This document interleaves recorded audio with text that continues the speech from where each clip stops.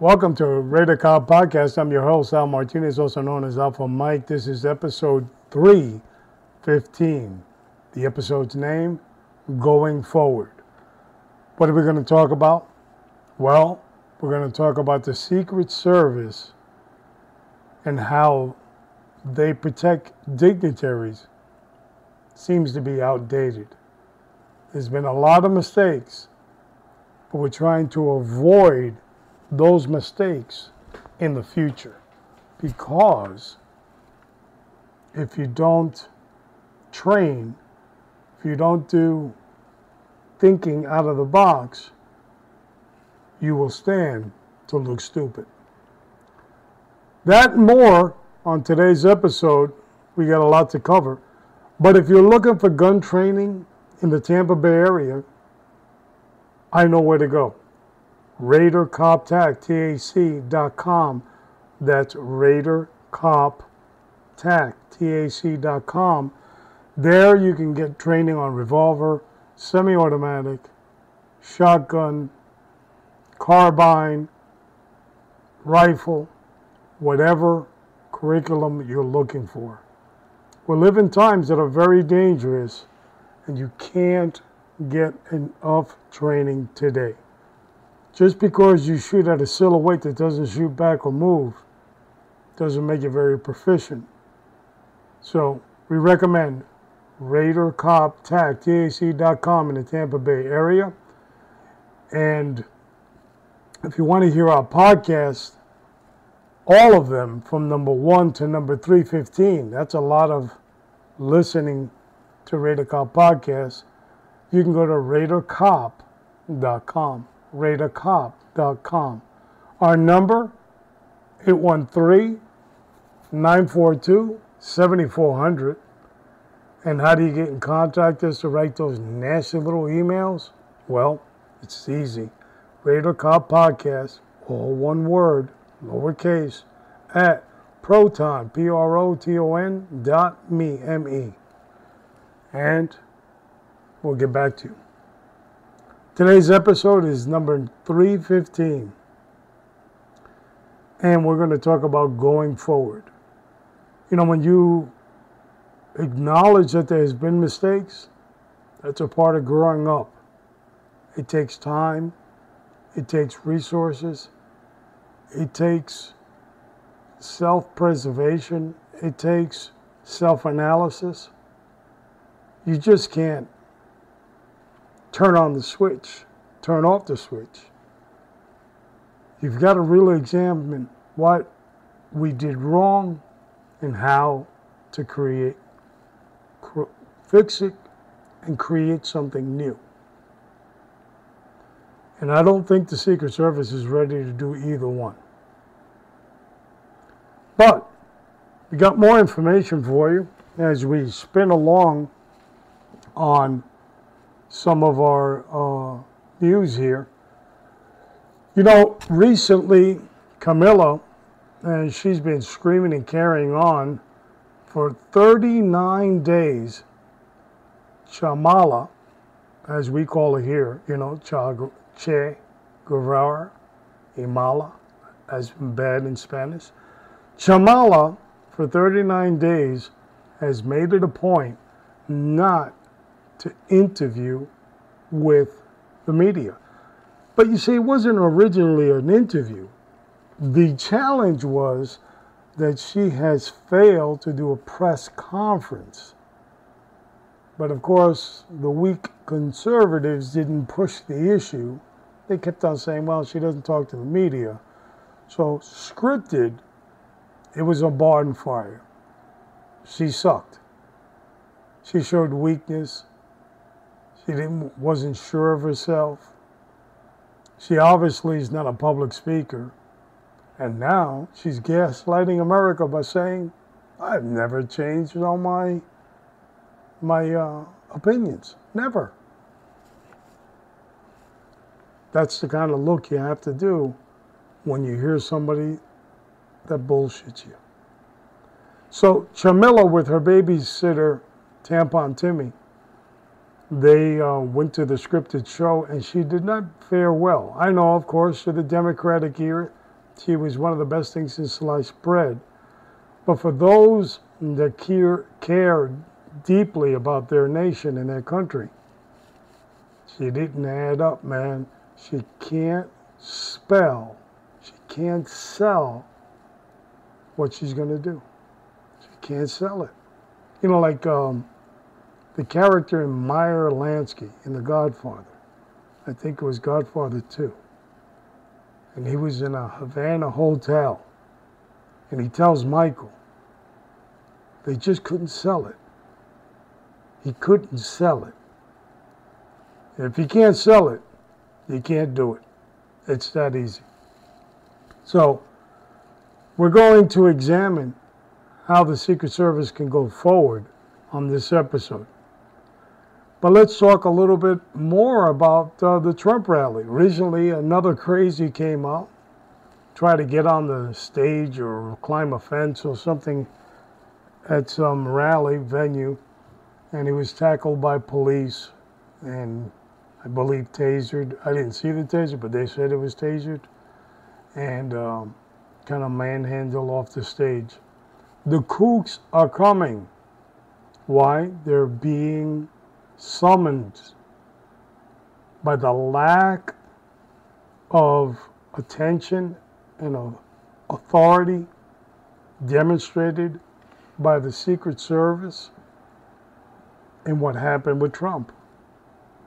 It's a joke. And so now you have the copycats that are going to be coming fast and furious. So we live in dangerous times. We discussed that, and that's why you should have some type of self protection training.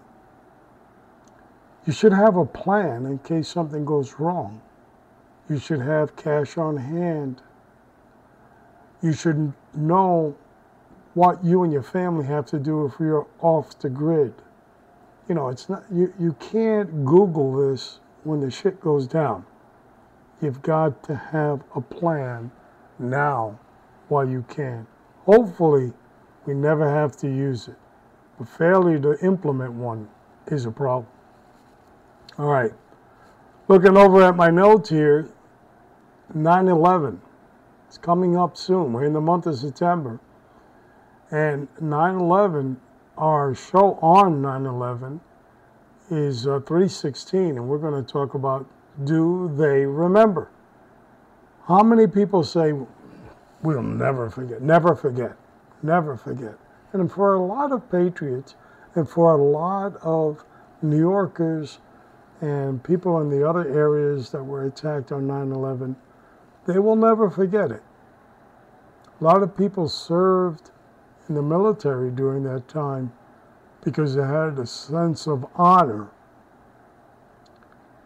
But 24 years, 25 years later,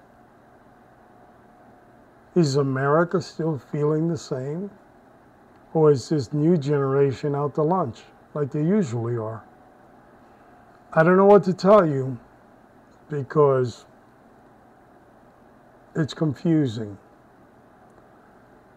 But what happened that day, I remember vividly, and I, like millions of Americans, were disgusted by what occurred. We felt that our country could have done better.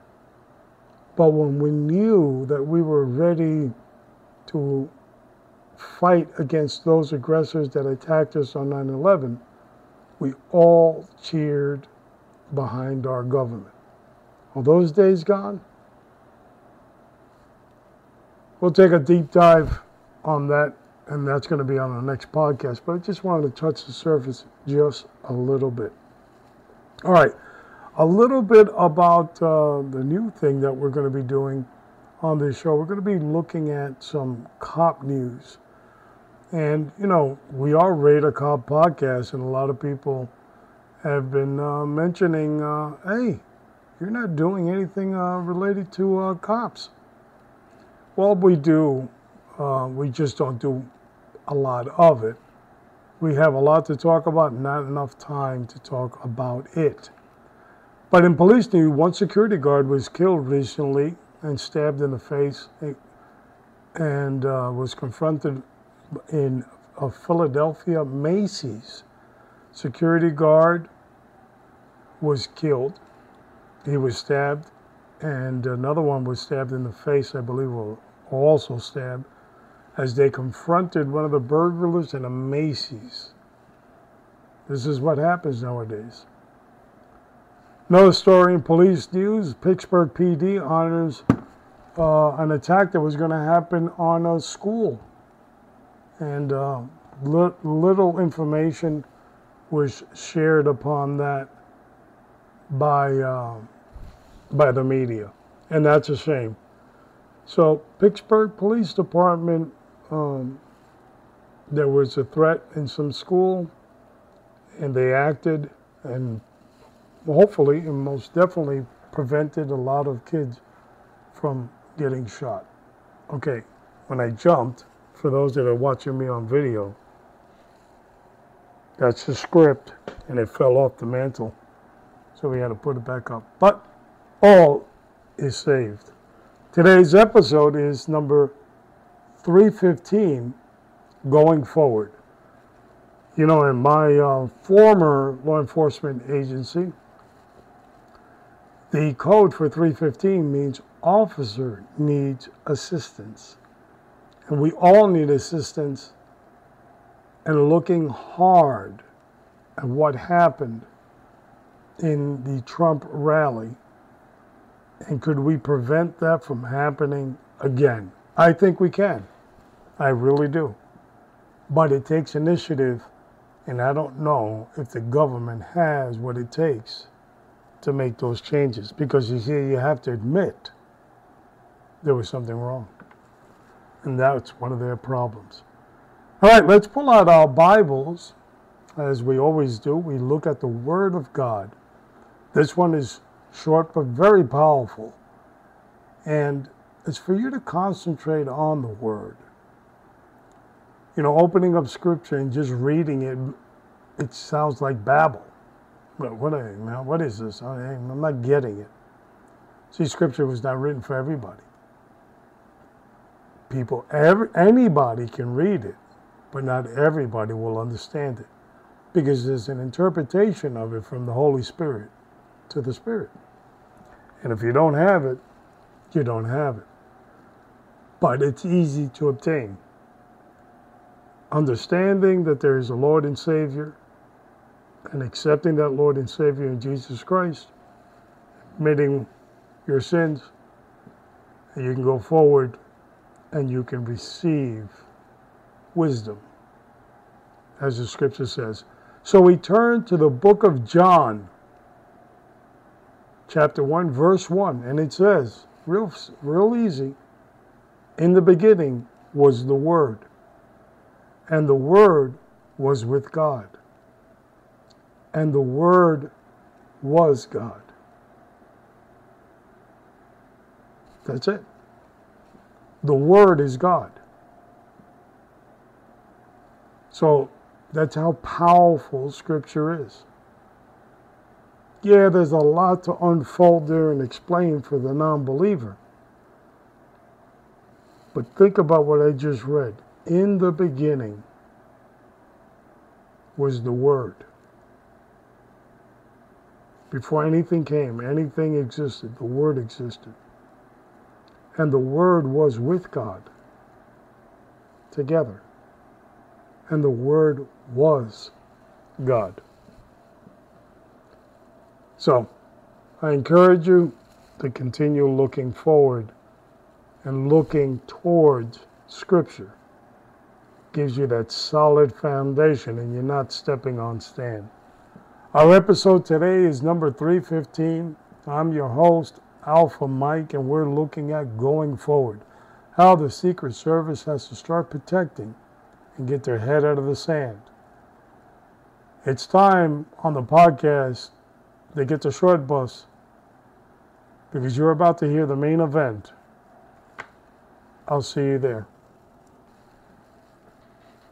You're listening to episode 315 going forward as we discuss what the Secret Service should do in the future to protect its executive protection detail, which is also known as the President of the United States, the Vice President, and any other designee that they're told to protect.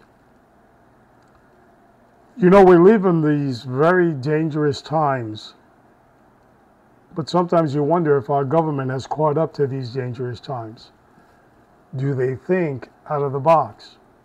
Or are they stuck inside the box? Recently, our Social Security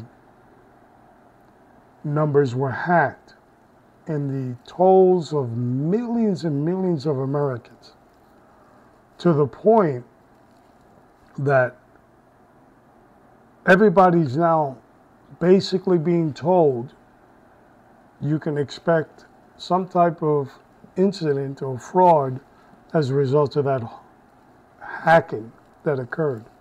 Third party, they didn't hack the Social Security Administration. No, they hacked some third party that the Social Security Administration thought was fine to send them all these Social Security numbers with information, such as addresses, phone numbers, uh, you know, all, all that pertinent information. So that's a problem. But the government continues to masquerade with this little card with those numbers on it and telling people, you need that.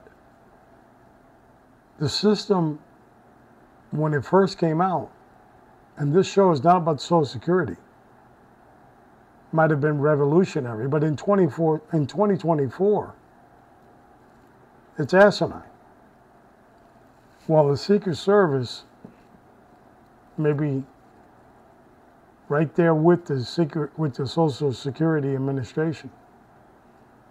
You see, we've got a lot of questions we're going to ask, try to answer, and come up with a plan going forward. Did the plan come from me? No, it didn't. It came from experts, people that know their stuff, and they want their they want our government to get their thumbs out of you know where. So, what do we know now? Let's dive in that. We know that our government does not move very fast, as we discussed with the Social Security Administration. We also know that there's a lot of red tape in everything government does. Sometimes you could do a request for something and it could take years to show up if it even does. Ronald Reagan once said, People don't think that things are immortal. They simply have never seen a government program. Because when there is a program in the government, it lives forever. But does it change? Is there an evolution to that program? Most of the times it's not. Whether it works or doesn't work, it lives forever. And that's what's occurring with the Secret Service. So here's what we know right now a 20 year old kid outsmarted one of the greatest security details on the earth. The 20 year old kid that the media constantly shows his sixth grade photograph because he didn't look like that. You know, you got to be mindful whenever you see that the media places a mass shooter in their photograph is like a fifth or sixth grade, they're trying to make the bad guy a good guy. He's a scumbag. He had long hair. And the photo that the media is showing you, he was in sixth or whatever grade he was in. She looks pathetic. And I'm not, I don't mention their names. I don't glorify the scumbag. You know who I'm talking about. But the media always is on the wrong side of the script. And on this, it's no different. He shot his round or rounds at President Trump from 140 yards. That's not very difficult, even as a new rifle shooter. Rifles are very accurate, even without red dots and optics, iron sights. Once you shoot a couple of rounds, you start to focus in, you'll see how easy it is to shoot a rifle. 140 rounds isn't difficult. So we don't know the shooter's experience yet. Obviously, he was a part of a gun range that Homeland Security was using as well as Secret Service. Mind boggling. There's Secret Service, there's Homeland Security agents using this gun range, and there's our future sh- shooter. Although he didn't look like that sixth grade photograph the media is showing us. We also know there was no communication from the Secret Service with the local law enforcement, or like they like to say, the locals. Make them smell, it sounds like the, the smellies. But when you look at these congressional hearings and you see the director of the Secret Service there, and he says he calls them the locals, like the smellies. Well, the Secret Service was supposed to meet with the smellies or the locals prior to the event. The local police department interviewed with ABC News after the event, and they said Secret Service never showed up to that meeting. Strike one. Oh, there's a lot, a lot of strikes. We're not even going to do strike one, strike two, uh, because we'll be up to, you know, the numbers are infinite here. So there's no communication with local law enforcement or no briefing. No Secret Service command post. Let me repeat that. No Secret Service command post. Now, there might have been a command post, but it was the locals, you know, the smellies. They had some type of command post, but not the Secret Service. Mind boggling. Now, up to now, a lot of experts I've heard have said Secret Service usually always has a command post. Well, apparently, of course, I'll give you the federal uh, excuse that they use. We're still investigating, but at this time, we're not sure. Really? You couldn't just we're, we're, we're point to the effing command post. They didn't have one. That's why they can't. That's mind-boggling. So no command post. That's another strike. You you do the counting. I'm not I'm not doing it. It's, it's too much.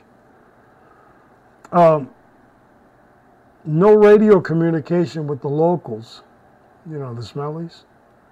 So we know that the local police department was communicating via radio, but Secret Service, for some reason, was not picking up on it, especially the snipers. There was a break in that communication. You know what the break was? Secret Service didn't know what the cops were talking about because they weren't a part of the command post and couldn't hear the radios. And that wasn't their radios. So that's kind of hard, isn't it? Shit. We did a show on instant communication.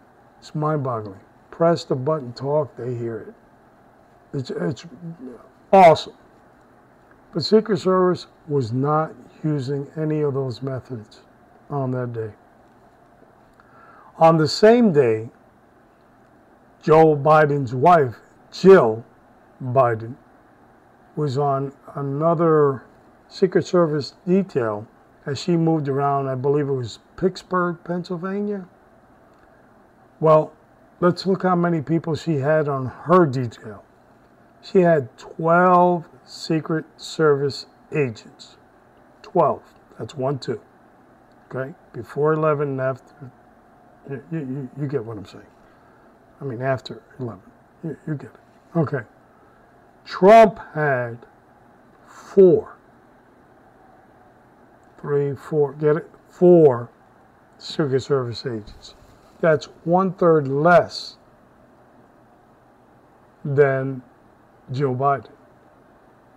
Joe Biden had a maximum of 12. Why?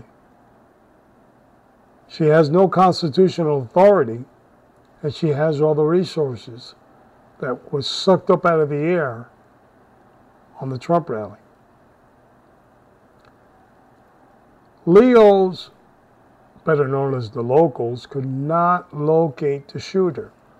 So there was people that were talking about, I saw a guy with a rangefinder. One of the police officers said they saw it also. But as we said in another podcast, apparently the shooter sprayed magical disappearing dust on himself, and the police could not see him or find him. But the witnesses could see him clearly and would point and say, Look, there he is. But local law enforcement and Secret Service couldn't find him because the shooter probably had sprinkled magical disappearing dust on himself. The 20 year old with the sixth grade photograph. The, let's see what we got else here. The shooters flew a drone hours before the rally. Flew a drone hours before the rally. Should that location should have been secured by police early that day? Mind boggling. The shooter got on the roof with supposedly a ladder. Imagine that. Everybody's at the rally, and here comes this guy. Excuse me, excuse me, with a ladder. He needed it to get on the roof. But again, as they say in federal government, investigation is still ongoing. What the hell is that over there in the corner? Is that a ladder? Mm-hmm. We find out the shooter had a rangefinder kind of measures the distance from where he is to where Donald Trump was. And they should have zeroed him in in somewhere around 130, 140, 150 yards. Child's play for a rifle. There's where he was. The rangefinder. Officer did see him. A lot of witnesses saw him. They, hey, this isn't right. But the magical disappearing dust got the shooter out of there nobody saw him. Disappeared. Only to get in position to cause havoc later. So we know that there's a lot of other things, and we're not going to dwell into this all day. You know, the rest are why did he have three accounts in foreign countries? uh, email accounts and bank accounts and all this other stuff, blah, blah, blah. We don't know. We're kind of still stuck on the Kennedy assassination as well. Even 9 11 is a little bit of a mystery as well. So, what do you expect here? But here's a question that needs to be asked Why wasn't the area of the rally under security. Surveillance camera security. Days prior. Recently, where I live, the Tampa Bay area, there's new construction of homes.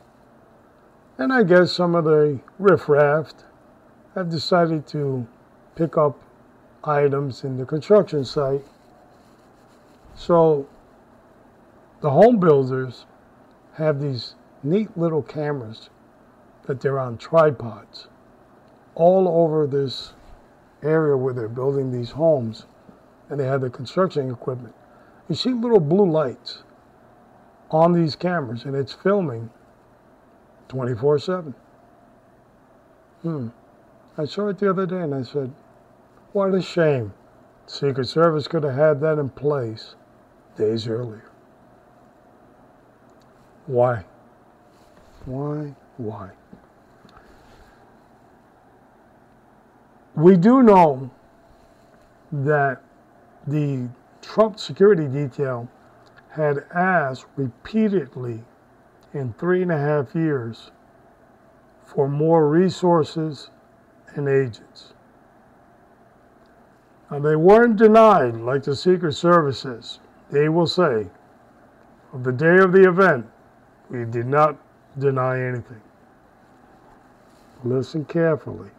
On the day of the event, we did not deny anything. How about the day before? Well, if I ask you a question, direct question, I tell you, uh, did you do it? You don't answer. You didn't say no. You didn't say anything. I'm going to take a deeper dive. I'm going to look at you with a different pair of eyes and I'm going to go, mm-hmm. I smell something wrong.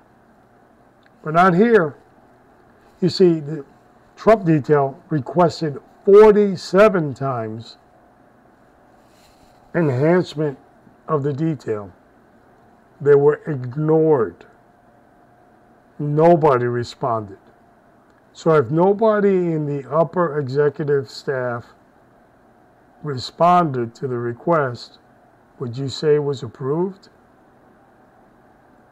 No, it was ignored. The next best thing as denied.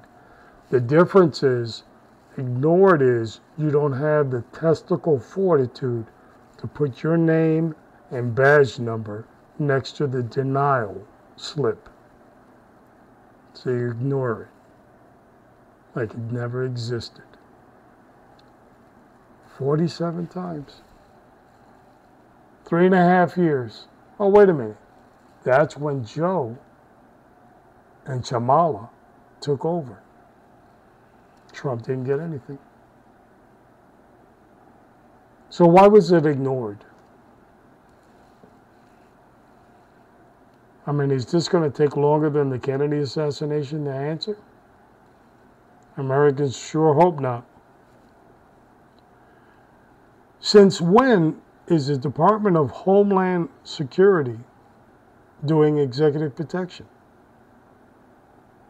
We saw it with our own eyes. Secret Service Barbie. Couldn't holster, couldn't take a gun out. It was freaking awful.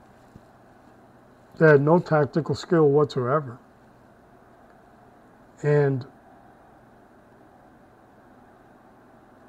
why would you try to holster? Why'd you take out your gun? They didn't look the part, and Americans were smart and wise, and they looked at and they said, wait a minute, something's not right here. And we've now found out that a lot of these buffoons that were there were from Homeland Security. They were masquerading as Secret Service agents. This is our federal government, folks. But they didn't have that high level of training. You see, only four agents had that high level training. The rest were masquerading as Secret Service agents and clowns. So, another important issue is why did all the agents, when the shots rang out, all have semi automatics, pistols? Well, took out that pistol. Oh, mine's, oh, mine's back there. You know, I've seen Secret Service details with the president. I think it was uh, William Jefferson Clinton. And the agents underneath their jackets had MP5, small little ARs, MP5s. These had pistols. Mind boggling also. Where was the heavy artillery? Oh, we had sharpshooters. We had them up on the roof. Thank God Because if we didn't, boy, would we be out of it. So here's what we need to do going forward, and it doesn't come from me. Recently, experts testified in front of a panel of Republican congressmen that are taking this back to Congress on what we can do better. And the people that were assigned to uh, giving testimony was Dan Bongino, that has his own podcast, and a former Secret Service agent. And Erik Prince used to be the CEO of Blackwater, which was um, an elite group of special special operators in Iraq and Afghanistan. They also did dignitary protection there in war. He had over 3,500 employees in very hostile areas, and the government paid him highly, billions of dollars. So he should be pretty knowledgeable in this area. So, what they were recommending, and Erik Prince said so eloquently, the Secret Service was baffled by a 20 year old kid. Imagine a terrorist team of 10, well trained, heavily armed, moving towards the president. Can you imagine that shit show? Makes you think, right? We live in a different world. The days of bullshitting and masquerading with a suit and a tie saying stand back and a pair of aviators on is over. Today, you better know what you're doing. Because the enemy may come at you with everything they have to embarrass a nation and take out a leader. Iran has been threatening of late. But we know they're cowards. They don't do nothing themselves. They send proxies. But Erik Prince now has everybody thinking what he just said. A 20 year old baffled the Secret Service. How about an elite team trained, came through the border, heavily armed, moving in on our president? And I say ours, whoever's elected. Are they ready? Is the Secret Service that good? Not by the standards what we've seen lately. Erik Prince said there has to be a tactical special operations team that goes in prior. And basically, what they do is they look at the layout that the Secret Service has, and then they hand them a sheet of paper and they tell them, This is 10 ways till Sunday that we can kill them. Make sure you get these areas covered. Do they have that? It's time to think out of the box. They also need a counter attack force. See, Secret Service, the way they operate is as soon as the shocks go down, tackle the president, jump on them, and get them out of the X, as they call it, the hotspot. They run away, they throw them in the limousine, and they're gone.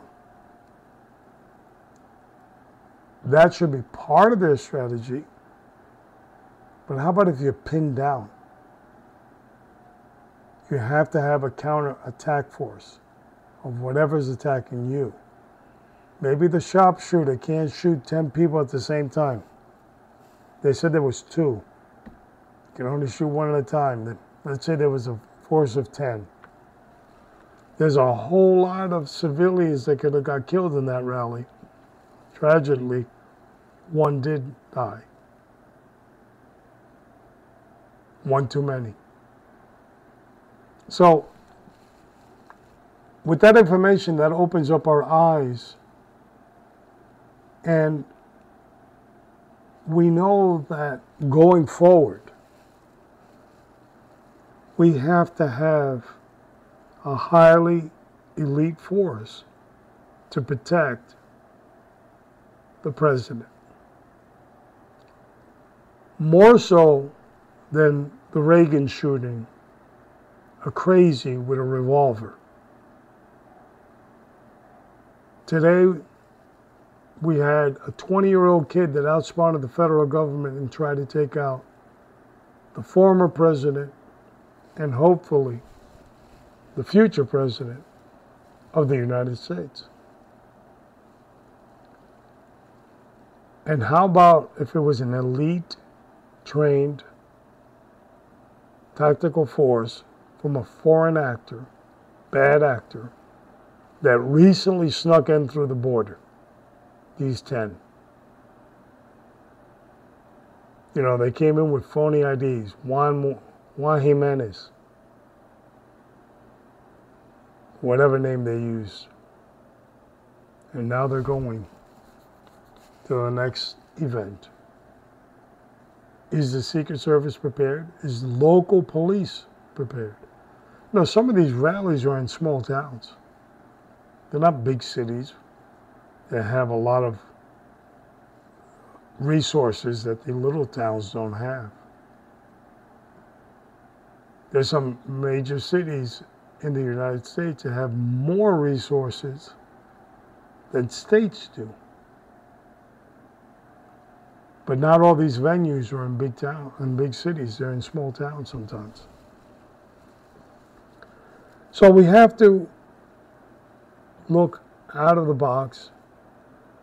We have to start recruiting these special operations guys as they leave, which they usually are very well recruited for the CIA. But maybe we should start recruiting them for something a little bit more boring, like a Secret Service detail. Because when it goes down, we have our best on the site, not our worst.